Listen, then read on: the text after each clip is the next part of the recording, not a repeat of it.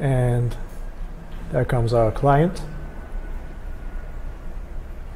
Now we should log in. And then we should choose the appropriate version.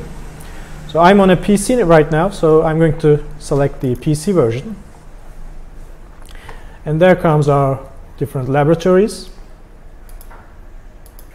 Now we are going to do the air track experiment, and that is in mechanics laboratory. So I'm selecting that.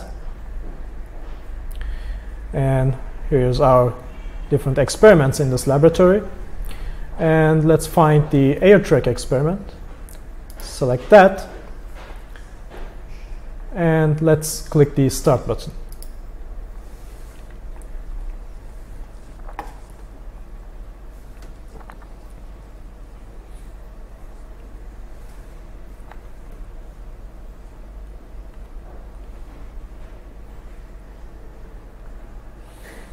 And now we should start by selecting a language option. Today we are going to do the English version, so let's click on that.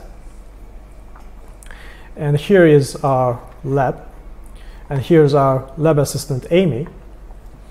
Now we can move around in the lab using the WASD keys, and we can look around using our mouse. We can take the objects in the lab using the left mouse button and then release them using the right mouse button. Now, this thing here is our VR Lab tablet. And on this tablet, we can find the relevant theoretical information about the experiment and also the relevant um, tables and whatnot about the experiment. So Let's start by selecting this theory part. And here we can find the theoretical basics about this experiment. Now, the first part of this experiment is about motion with constant velocity in one dimension. So there is the relevant equations and definitions. The second part is going to be motion with constant acceleration in one dimension.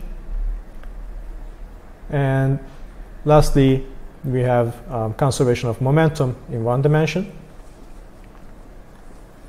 And after the theoretical basics, we can see the tools and materials that we are going to use. And after that, we have the experimental procedure. And here we can see the steps that we should follow for each of the parts of the experiment. So let's go back by clicking the back button. And now let's select the experiment part. Here we can see the three different parts of this experiment. I'm going to select the first one, motion with constant velocity in one dimension. Okay, so here is the table that we are going to fill in this, in this part of the experiment. As you can see, it is right now empty. So I'm releasing the tablet. And in this first part, we are going to use this Airtable next to us on the right. You can see that there are four photo gates on this air track. And here we have a cart. And we are going to measure the velocity of the cart as it passes through each of the photo gates. Now to release the um, or to launch the photo um, the cart, I am clicking on it and I am holding the left mouse button. And when I release the mouse button, as you can see, the cart is also released. And here we can see the velocity is measured at each of the photo gates. And these values are also found in our VR VR Lab tablet. And this delta t here is the time um, it takes the cart to um, go through each of the photo gates. Of course, um, we can, using this velocity and this delta t, we can find the length of the cart or vice versa. Now what we can do is we can click the draw graph button and when we do that in this table the velocity versus data point graph appears and we can also see graphically that the velocity did not change since there is no force acting on this cart. Now we have save data button here. When we click that, our plot is saved on our desktop as an image file so that we don't lose our graphs. All right, so this was the first part of this experiment. Let's go back and let's move on to the second part, which is motion with constant acceleration in one dimension. Again, we have our empty table. And in this part, we are going to use this air track to the left. Now, this time we have two photo gates. Again, we have a cart here but now a string is attached to this cart and at the other end of this cart we can hang some masses so that when we release the cart it accelerates um, due to the gravity acting on the masses here right? Okay so here we have a weighing scale. Let's turn that on and here we have three different masses. So let's weigh this one. It is um, of 10 grams. Let's put this one as well. So this is also 10 grams. And this is also 10 grams. So in total we have 30 grams. Now let's hang these masses to the free end of the string. And now we can release the cart by clicking the start button. There we go. Here the velocities at the two photo gates are shown. And of course we, are, we can also find them in our tablet. As you can see, the velocity is increased. And we can now draw our graph. Again, we have the velocity versus data point graph. And you can see that velocity did not remain constant and it increased, right? Let's save our data again. And that was our second part in this air track experiment. Okay, so now let's move on to the last part, which is the conservation of momentum in one dimension. Okay, so this is the table for the third part in this experiment.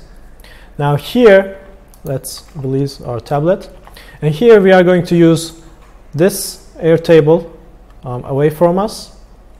Now here we have two photo gates and two carts at each of the ends of the air track. Now we are going to um, adjust the launch velocity of each cart separately and then we are going to release them clicking this button and we are going to observe the collision of the two carts.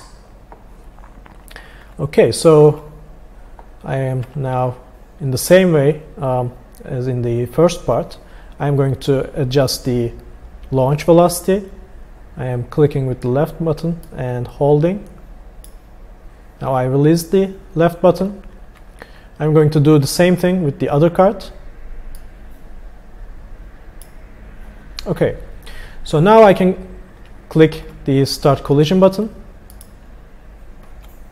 We observe the collision and if we now take the tablet in our hands, we can see the velocity of the first cart before and after the collision, and the same thing for the second cart, right?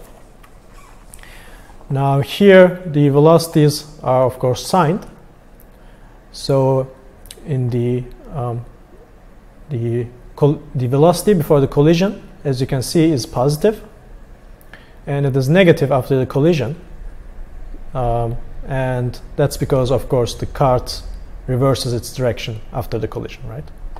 And the same thing happens here but now it is negative before the collision and positive after the collision. Okay let's again click the draw graph button.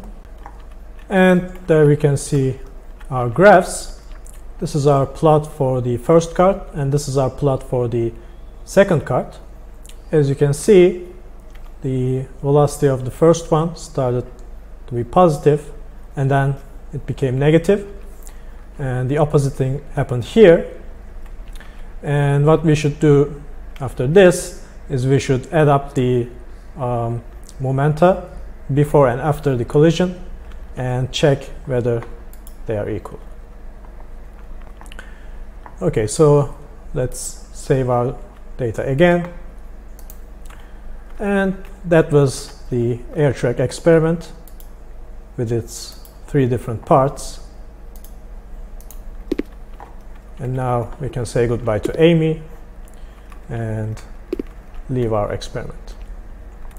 If you want to redo our experiment, we can start this button here. But if you want to leave the lab, we can start this and exit the lab. Okay, so that was the um, AirTrack experiment.